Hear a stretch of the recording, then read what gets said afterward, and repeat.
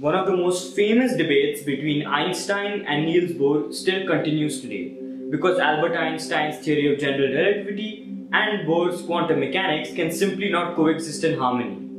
Physicists have long tried to connect these two using their own theories, and one of them is loop quantum gravity theory. Now, the main concept of this loop quantum gravity theory is that space itself is quantized. Now, what does this mean?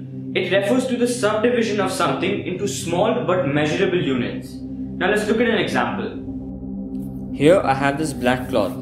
From a far distance, it looks like a smooth and seamless black fabric.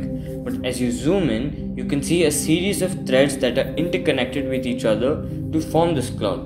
Essentially, we are quantizing this cloth into numerous threads. The same thing happens in actual space.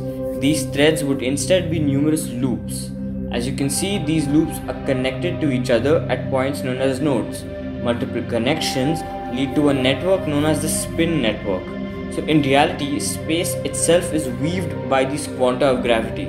This suggests that there is in fact a minimum length, which is also known as the Planck length, a minimum volume, area as well as time.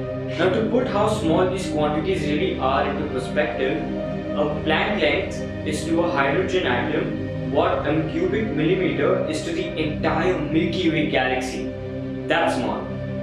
Basically, space is made up of a large number of quantum loops which are connected to each other. Now imagine drawing a closed surface anywhere in the network.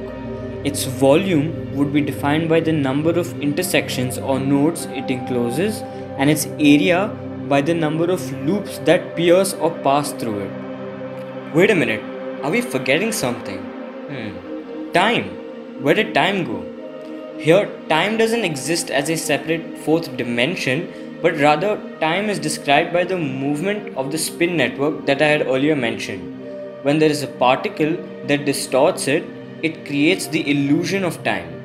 Also, here, time can be represented as a digital clock, which ticks by 10 to the power of minus 43 seconds every time the spin network moves, maybe due to mass or due to energy. So the combined distortion of space, which are the connections, and time, the movement of these connections, is what causes gravity. Now the main contender of LQG is string theory. The primary difference between them two is that string theory presumes the presence of space, like a black canvas on which these strings vibrate to form the corresponding fundamental particles of the standard model. But in LQG, no previous assumptions are made. In LQG, the finite loops, the connections and spin networks are space itself.